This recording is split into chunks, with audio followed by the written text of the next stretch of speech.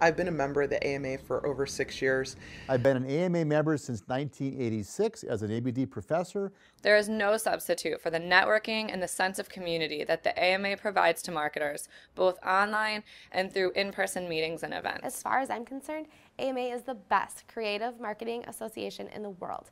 Joining AMA was by far the best decision I've made in college. It's been an unbelievable journey, and I always tell new members whatever you give back to the AMA, you'll get back threefold. If you're in academia, view the AMA as a partner for your career growth. And quite frankly, I couldn't imagine any marketing academic not having AMA resources available to them. The AMA, to me, without a doubt, is the strongest brand in marketing. And as a marketer, why would you not want to affiliate yourself with that brand? It is the best way to advance your career. If you're in marketing, you should be in the AMA.